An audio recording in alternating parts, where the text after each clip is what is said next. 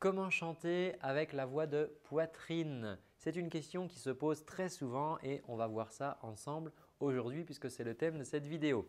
Salut, moi c'est Antoine, je suis coach vocal. Je partage très régulièrement sur cette chaîne des tutos, des astuces, des conseils pour t'aider à bien chanter. Je t'invite à t'abonner pour recevoir eh bien, toutes les prochaines vidéos. Alors surtout, n'oublie pas d'activer euh, la petite cloche là pour recevoir les notifications et ça te permettra également d'être alerté lorsque je serai en direct sur cette chaîne. On pourra échanger, tu pourras me poser tes questions et j'y répondrai avec grand plaisir. Alors, euh, la voix de poitrine, qu'est-ce que c'est? Tu sais qu'on a différentes manières de chanter, on a différentes manières de produire un son et on a classé, alors ça s'est fait comme ça, ce n'est pas une classification euh, internationale, mais on parle de voix de poitrine. les anglo-saxons euh, parlent de chest voice et on parle également de voix de tête, ce qui est la head voice. Alors, la voix, euh, elle vient toujours ici, hein, de tes cordes vocales. Ça, ça ne change rien. Maintenant, il y a des sensations qui font que, ben, effectivement, là quand je parle, si je pose ma main sur la poitrine, ah, je vais sentir des vibrations ici dans ma poitrine. Si je fais ça, je vais sentir un petit peu de vibration dans le crâne, mais ce ne sont que des vibrations et des sensations. Ça n'a rien à voir avec ce qui se passe ici au niveau de mes cordes vocales. Mais toujours est-il qu'il y a cette classification. C'est clair que ce n'est pas le même son et bah, du coup pour s'y retrouver, voilà, on utilise ces appellations-là. Alors il y a une autre voix qu'on appelle la voix mixte, mais ce n'est pas le thème du jour, donc je ne vais pas t'embrouiller. Euh, ce qu'il faut savoir, c'est que ce qu'on appelle la voix de poitrine, ça se joue au niveau d'un mécanisme des cordes vocales et ça, se joue également au niveau de l'acoustique. Alors, pour t'expliquer cela, au niveau des cordes vocales, ici, ça va se rapprocher de la parole. Là, je parle et alors je ne suis pas en train de chanter, je ne chante pas non plus très aigu, mais là, je suis dans une voix de parole et c'est ce qui va vraiment s'apparenter le plus proche de la voix de poitrine. C'est ce qui se passe ici au niveau de mes cordes vocales. Je suis dans ce mode-là. Et euh, la deuxième chose qui va se passer quand je vais commencer à monter dans les aigus, euh, ça va être des modifications acoustiques qui vont se réaliser ici aux étages supérieurs. Donc, les cordes vocales génèrent la vibration avec un certain mode qui est le mode de la parole. Et ensuite, le son va remonter par là. Il va être transformé en fait par la forme de ma bouche.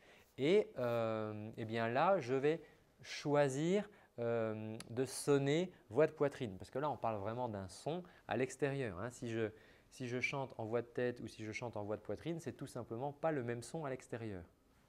Alors, euh, la petite astuce, euh, parce que souvent ce qui se passe, c'est quand on commence à monter dans les aigus, on perd cette voix de poitrine et les gens me disent « Ah, mais oui, mais j'ai basculé en voix de tête ».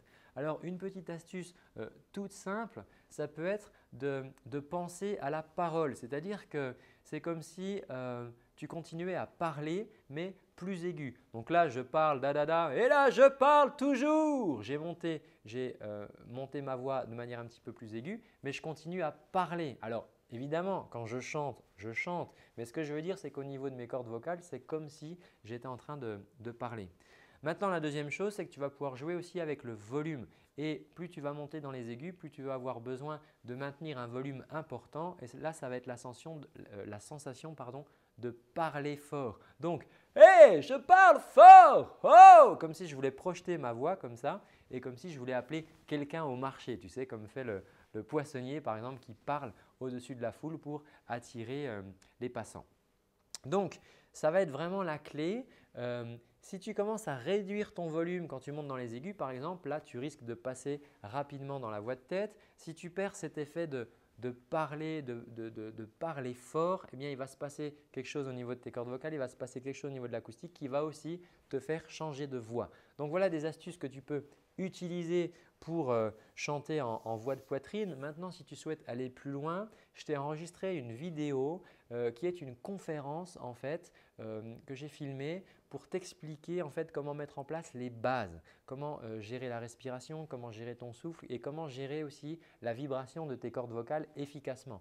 Tu l'as compris, dans la voix de poitrine, on a besoin d'une vibration des cordes vocales qui est proche de la parole. C'est une vibration qui est très efficace et je te propose qu'on mette ça en place dans cette vidéo. Alors pour y accéder, c'est tout simple. Clique dans la description, tu trouveras un petit lien. En cliquant dessus, tu auras tout simplement à remplir ton prénom et ton adresse mail et tu recevras tes accès d'ici quelques minutes dans ta boîte mail chez toi pour accéder tout de suite à cette conférence. Alors je te dis ben, à tout de suite dans la conférence. Prends bien soin de ta voix. Merci d'avoir suivi cette vidéo. Ciao